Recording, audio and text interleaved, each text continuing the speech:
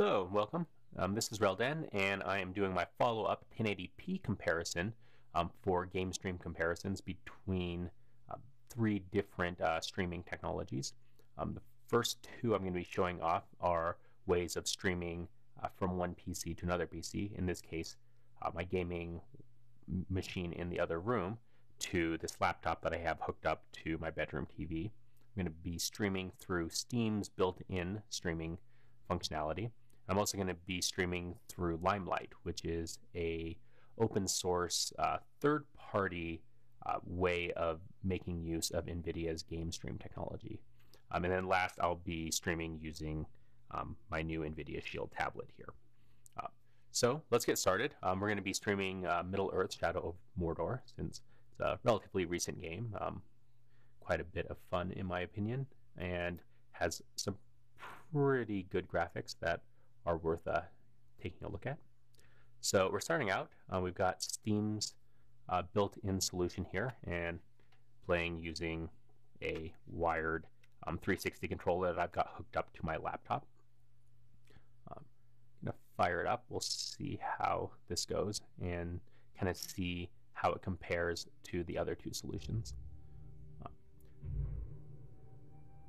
Okay, um, just looking at things immediately, the actual look of everything seems to be pretty good. I'm not really coming across a whole lot of um, artifacts or anything. I will note that per the bottom of the screen, um, I don't know if you'd be able to read that, but it's coming in at 1080p, but it's only able to handle, I'm getting about 24, 25 frames right now, which is not exactly ideal for a uh, game that is, you know, has quite a bit of action. Um, so let's actually get into the game itself. We'll see. Uh, we'll see how we stand there. Now, my gaming PC in the other room is a i5 2500K running a GTX 770, um, and currently I'm running this game um, on high settings, which uh, generally, if I'm playing on the machine in the other room, I have no problems doing. Okay, hopping into the game itself. Uh, controls actually seem to be fairly responsive.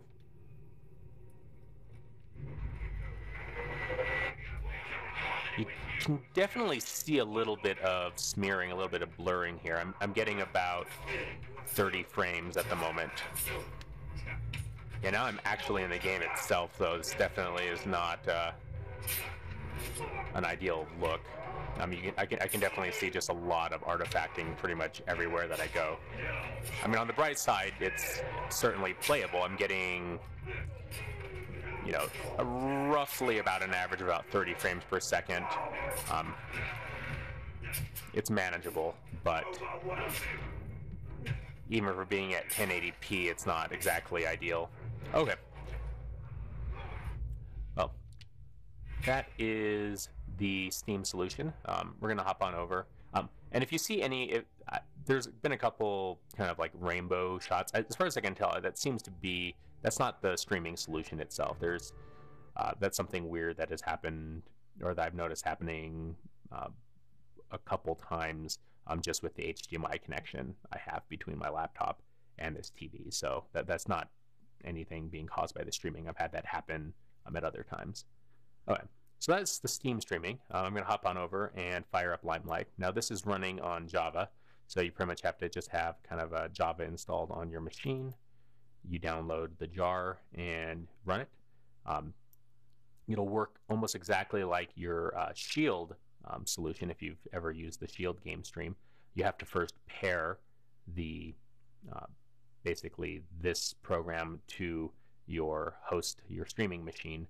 Um, and then basically initially pair it, you'll have to go punch a code into the streaming machine. And once that's happened, um, from thereafter, you can just start your streaming and it'll automatically connect and let you do stuff. So I'm going to jump straight into start streaming. Now, one thing with the Limelight solution that's a little bit different than if you're using a um, Shield device directly is that Limelight always drum, uh, drops you directly into Steam Big Picture mode, um, where the Shield solution lets you directly run um, non, uh, say Shield, Steam Big Picture mode, Uh, whereas that's just one option with the shield solution. You can also um, have it jump you straight into pretty much any other executable you choose.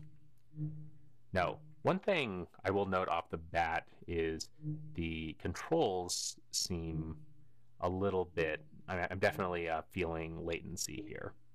Um, graphically, everything looks really, really um, crisp and nice. Uh, we'll see how it actually looks once we get into the game here. But it's definitely, it, it's one of those things where, you know, you push left, you push right, even on like a menu, and you just feel like kind of a little bit of a hitch, like it's not responding um, in the way that you were anticipating. Um, so we'll see how, how well that works in game.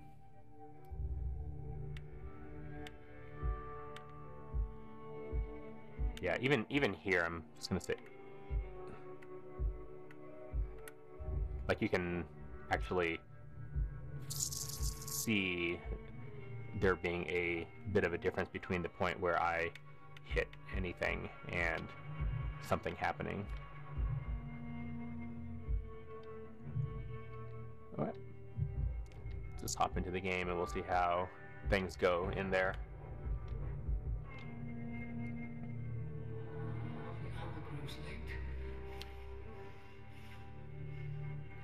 Graphically, though, I mean, this is working pretty well and really is not bad at all for being a uh, third party solution.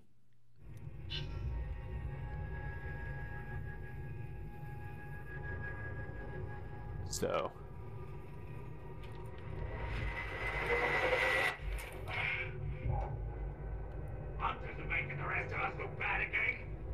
One thing that's kind of interesting is it's got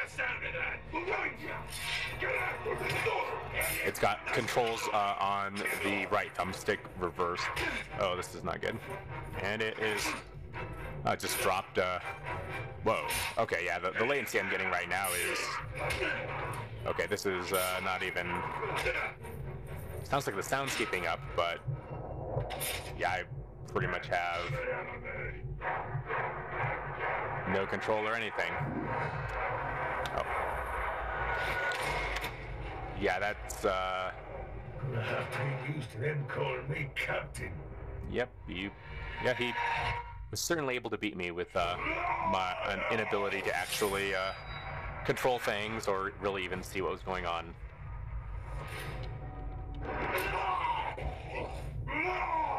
Okay, yeah, that's, uh definitely not working um, ideally here. I'm actually trying to exit out. Okay, here we go. Okay. Um. Yeah, that was uh, not exactly impressive there. I mean, it, it, looked fine, but doesn't really do you much good if you can't actually, um, you know, play the game, right?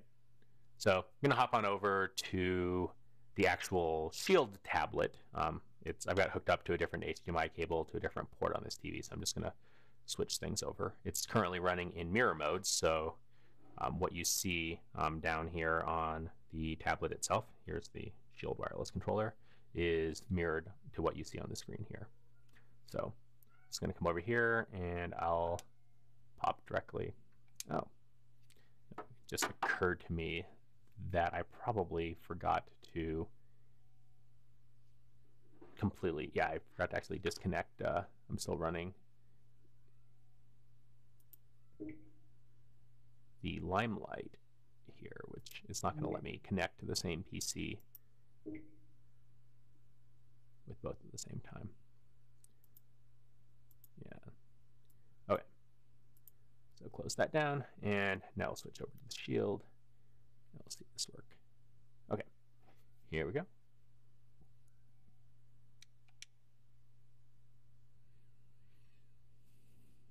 Okay, launching Steam should look very similar.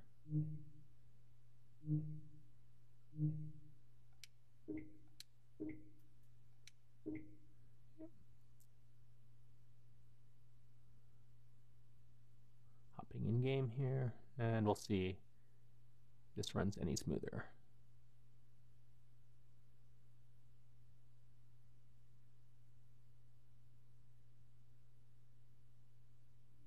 And I do have uh, my settings on the Shield uh, tablet here.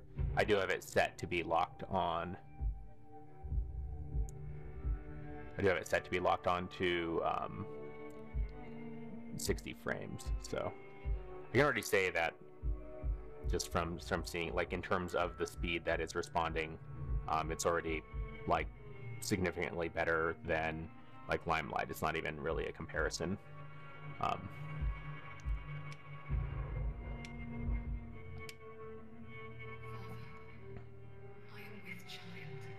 okay. I was offered a post commanding the Black Gate.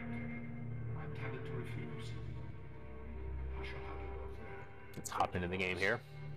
This is not Similarly with the Limelight, I will definitely say that um, graphics-wise, things seem to be relatively clear. You can definitely feel um, just from moving around and just seeing how things control. Stuff is running uh, very smoothly.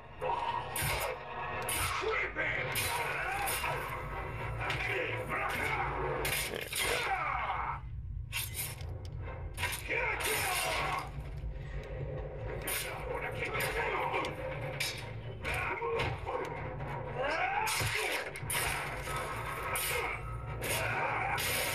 Yeah, definitely uh, plays uh, very smoothly. Um, graphics wise, um, things look pretty well. Hmm. Yeah, I would I would still say, I mean, uh, just from looking, you know, just from playing here, I mean, this is this plays definitely just as smooth or smoother than the Steam streaming, but I don't have that same um, kind of blurriness uh, on the screen and artifacting that I was getting before. So, I mean, I would definitely uh, have to say that just comparing these to each other, um, I my my preference would probably still be using the actual real NVIDIA solution. Um, Limelight seems to work well enough in the uh, in terms of providing the graphics to you, but I mean, as you saw, you know, there was a like when we got into those action sequences, we ended up getting a lot of frames dropped, and just in general, the responsiveness, the the the, the lag really on the controls made it um, just not very good for playing anything sort of action oriented. Um, both Steam and um, the Shield solution, um, the, the, the normal NVIDIA one, both work fine um, for being for playability, but um, I still think the uh, the Shield um, game stream itself um, provides you know combines that with uh, with just a much better look. All right. Well, um, let me know in the comments if there's anything else you'd, you'd like to see or anything else you'd like me to test out here. But um, otherwise, uh, yeah, that's uh, that's game streaming um, at higher resolution. Um, so yeah, this is Reldan. Thanks much.